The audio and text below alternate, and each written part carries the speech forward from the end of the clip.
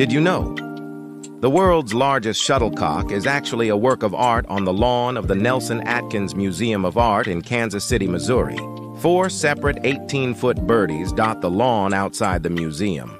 The Jolly Green Giant-sized shuttles were designed by European husband and wife artists Claes Oldenburg and Coosje van Bruggen. Each shuttlecock weighs 5,500 pounds.